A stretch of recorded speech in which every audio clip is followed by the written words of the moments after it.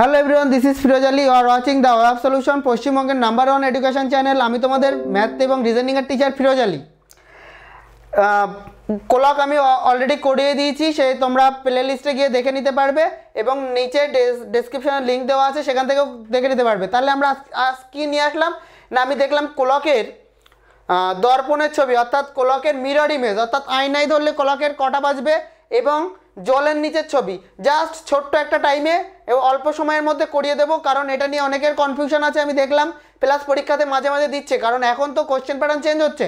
তো যাও, এবার দেখো, যখন কোনো একটা ঘড়ি, যার ধরো আমার কিছু ঘড়ি আছে, যেগুলোর কোনো সংখ্যা লেখা থাকে না, তো সেরকম একটা ঘড়ি, এইটা, সেই ঘড়ির, এখানে ধরো একটা টাইম একটা সময় বাজে।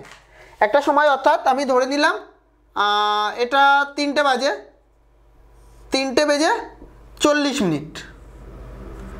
তিনটে বেজে চল্লিশ মিনিট। সেই সেই ঘড়িটা যদি আমি দর্পণের সামনে, অর্থাৎ আয়নায় ধরি, তখন আমার সেই ঘড়িটাতে আয়নায় ঘড়িটা, এটা রিয়েল ঘড়ি? Real clock? আর এটা হচ্ছে image what mirror image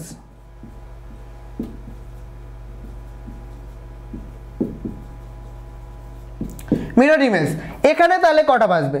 দেখো দর্পণের ক্ষেত্রে আমরা যেটা দেখাই, এই সাইডে ডানার তুলো, এই সাইড দিয়ে বাঁ হাত দেখাই, এরকম একটা ব্যাপার থাকে তো? এখানেও তাই। যেটা এটা ইধারে আছে মানে দর্পণে এটা এরকমভাবে থাকবে তো? হ্যাঁ কি না? থাকবে কি না? কনসেপ্ট ক্লিয়ার করো, ছোট্ট একটা ক্লাস হবে। ঘণ্টা কাটাটা এইভাবে থাকল। আর মিনিটের কাটাটা এখানকার বদলে কোথায় থাকবে? দেখো। মিনিটের কাটাটা যেখানে এই ধারে আছে, তখন সেটা আট তো, এখানে দুই ঘর বাদে এই ধারে থাকবে। এইভাবে থাকবে। হ্যাঁ কি না? ভালো করে বোঝার চেষ্টা করো। এবার আমার জিজ্ঞাসা করবে যে যখন কোনো একটা ঘড়িতে রিয়েল ঘড়িতে তিনটে চল্লিশ বাজে, তখন আমার সেই ঘড়ির মিরর ইমেজে কটা বাজবে? একটা টাইপেরই কোশ্চেন হয় just only one type mirror ইমেজে R only one type in water image তো আমি সেটা কী করে করব? আমি নিশ্চয়ই এইভাবে ছবি এঁকে বোঝার চেষ্টা করব না, বা পরীক্ষার হলে একটা বড় দেওয়াল ঘড়ি নিয়ে নিশ্চয়ই আয়নার সামনে ধরে দাঁড়িয়ে থাকব না। তাই তো? তাহলে আমার কোনো একটা নিয়ম তো আছেই।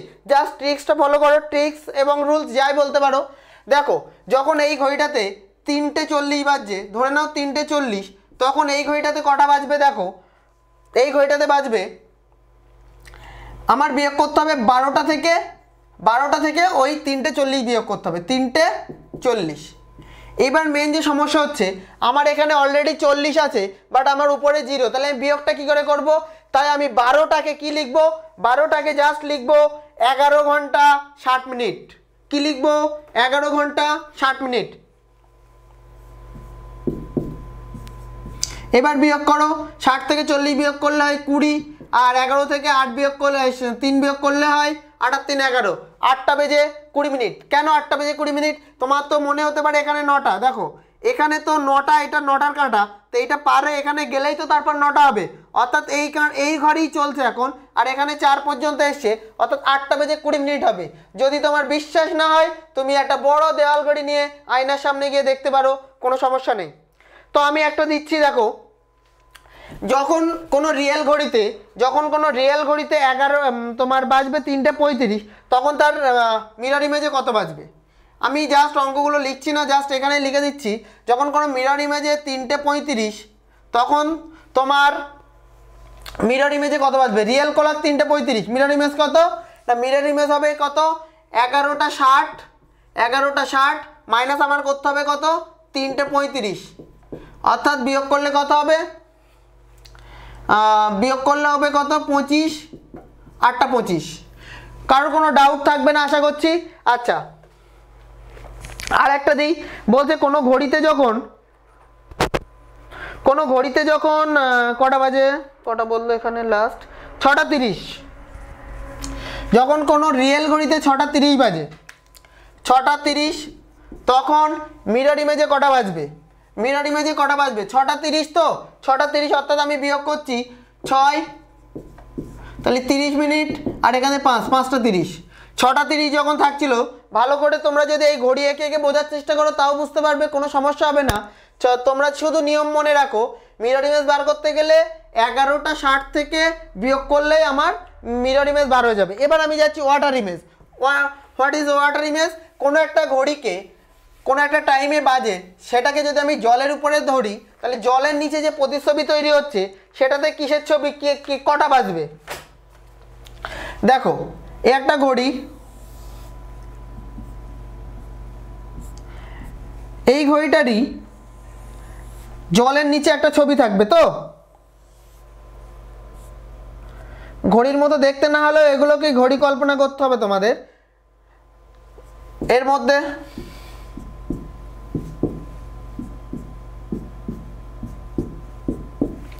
এবার দেখো, এখানে কোনো একটা টাইম আছে, এইভাবে। আমি ঘণ্টা কাটাটা একটু মোটা করে করি। আর এখানে আছে মিনিটের কাটা। ওয়াটার ইমেজে তুমি কি দেখতে পাবে? ওয়াটার ইমেজে তুমি যেটা দেখতে পাবে, সেটা হচ্ছে এই যে ঘণ্টার কাটাটা, এইখানে নিচে আছে, ছয়ে আছে বাট এখানে চলে যাচ্ছে কতই? বারোতে। আর এখানে যেটা এরকম আছে, সেটা এখানে একটার পরে তো, এখানে এরকম হয়ে যাবে। হ্যাঁ কি না? ওয়াটার ইমেজটা এরকম দেখতে হবে কি না? তাহলে আমি কি ঘড়ি এঁকে বা ঘড়ি জলের উপর ধরে প্র্যাকটিস করব? না।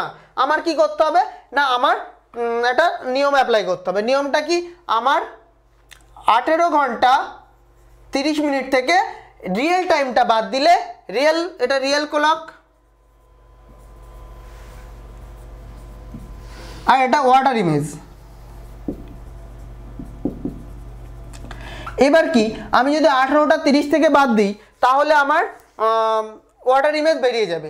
আমি এখানে নিচ্ছি ছটা ছটা কুড়ি। যদি রিয়েল কলাকে ছটা কুড়ি হয়, তাহলে আমার ওয়াটার ইমেজে অর্থাৎ নিচের ছবিতে কটা বাজবে, সেই ঘড়িতে, ছটা কুড়ি যখন হচ্ছে, আমি ছটা কুড়ি বাদ দিয়ে দিলাম। ছটা কুড়ি যদি বাদ দিয়ে দিই, এখানে দশ হচ্ছে আর এখানে হচ্ছে বারো, অর্থাৎ বারোটা দশ। ভালো করে বোঝার চেষ্টা করো। ছটা কুড়ি যখন ছিল, এই যে, আর হ্যাঁ ছটা কুড়ি তো নিয়েছিলাম। জাস্ট আমি যেরকম ছবি এঁকেছিলাম সেরকমই নিলাম, অসুবিধা হবে না তাহলে। এবার দেখো, এটা ঠিক উল্টোটাই হয়ে গেল, বারোটা দশ। ক্লিয়ার প্রত্যেকের? এবার দেখো, এখানে তোমাদের অঙ্ক করতে গিয়ে বা রিজনিং করতে গিয়ে যে প্রবলেমটা হবে, যে প্রবলেমটা হবে, সেটা হচ্ছে, তোমাদের ধরো ছটা কুড়ি না দিয়ে আমি দিয়ে দিলাম, ছটা কুড়ি না দিয়ে দিয়ে দিলাম ছটা পঁয়তাল্লিশ। এবার কি করে বার করবে? When real clock is showing six forty five তখন ওয়াটার ইমেজে তোমরা কি পাবে? ওয়াটার ইমেজে কী পাবে? এবার দেখো, আমি বিয়োগ করার চেষ্টা করি ছটা পঁয়তাল্লিশ। অ্যাকচুয়ালি তোমরা আমার নিয়মটা শিখেছো, সেটাই ফলো করছ, করতে গিয়ে তোমরা এটা যেই করতে গিয়েছো, আর সেই আটকে গিয়েছে। কি করে আটকালো? উপরে তিরিশ, নিচে পঁয়তাল্লিশ। তাহলে আর বিয়োগ করতে পারছি না বা যে বিয়োগটা করব, আমার সেই বিয়োগের বিয়োগের রুলসে আসছে না। আমাদের তো এখানে একশো পর্যন্ত থাকে না মিনিটে, তার জন্য আমার এই বিয়োগটা ওই নিয়মে হয় না। তাহলে আমি এটাকে কি করব? এটাকে বাড়িয়ে নেব। তাই আমি এই, এইটা ভালো করব যে তোমরা তো বিয়োগ করতে গিয়েই আটকে গেছো। এবার আমার কি করা উচিত? না, আঠেরো আঠেরো ঘণ্টা তিরিশ মিনিট না লিখে আমি লিখব, সতেরো ঘণ্টা নব্বই মিনিট।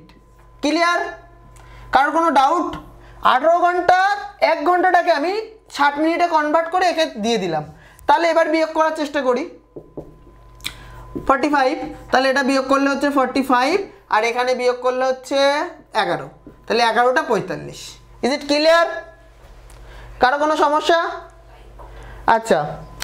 যারা এইটা বুঝতে পেরেছ, তারা অবশ্যই আমাদের ভিডিওতে যে একটা ভালো লাইক করে দিও। যে কজন দেখছ সে কজন প্রত্যেকের যেন একটা করে লাইক থাকে। এবং ডিসক্রিপশনের লিঙ্কে গিয়ে দেখবে প্লে লিস্ট দেওয়া আছে বা এর রিজনিংয়ের প্লে লিস্টও আছে। তো সেটা, এবার তোমাদের করতে গিয়ে আরেকটা প্রবলেম ফেস করতে হবে যেটা প্রবলেমটা হচ্ছে, ধরো আমি দিলাম তিন, দুটো দুটো কুড়ি। ওয়াটার ইমেজে এই প্রবলেমগুলো হয় মেনলি দুটো কুড়ি। যখন দুটো কুড়ি হচ্ছে, তখন আমরা একই রকমভাবে বিয়োগ করতে গিয়েছি, আঠেরোটা তিরিশ থেকে দুটো কুড়ি বিয়োগ করছি। কারণ এখানে তো আর নব্বই করার দরকার নেই, কারণ নিচে ছোটই আছে। এবার বিয়োগ করতে গিয়ে দেখলাম, প্রথমে বিয়োগ করলাম দশ, তারপরে বিয়োগ করলাম, দেখলাম আঠেরো থেকে হয়ে গেল ষোলো। ষোলোটা দশ, কিন্তু আমার ঘড়িতে, আমার অ্যানালগ ঘড়িতে আমরা তো ডিজিটাল ঘড়ি নিয়ে করছি না অ্যানালগ ঘড়িতে সর্বোচ্চ কটা বাজে বারোটা বাট এখানে চলে আসলো তো ষোলোটা। তাহলে এখানে আবার একটা তোমরা প্রবলেম ফেস করবে তোমরা যে প্রবলেমটা ফেস করতে পারো, আমি সেটাকেই জানিয়ে দিচ্ছি যে এই জায়গাটায় তোমাদের প্রবলেম হতে পারে। তো তোমরা যে প্রবলেমটা ফেস করবে, সেটা হচ্ছে এটা হঠাৎ করে ষোলোটা দশ হয়ে গেল। ষোলোটা দশ মানে কত? ষোলোটা দশ মানে আফটার বারোটা, অর্থাৎ চারটে দশ, তাই তো? তা বা বারোটা বিয়োগ করে দিতে পারো, এর থেকে বারো বিয়োগ করে দাও, বারো। তাহলে পড়ে থাকে চারটে দশ।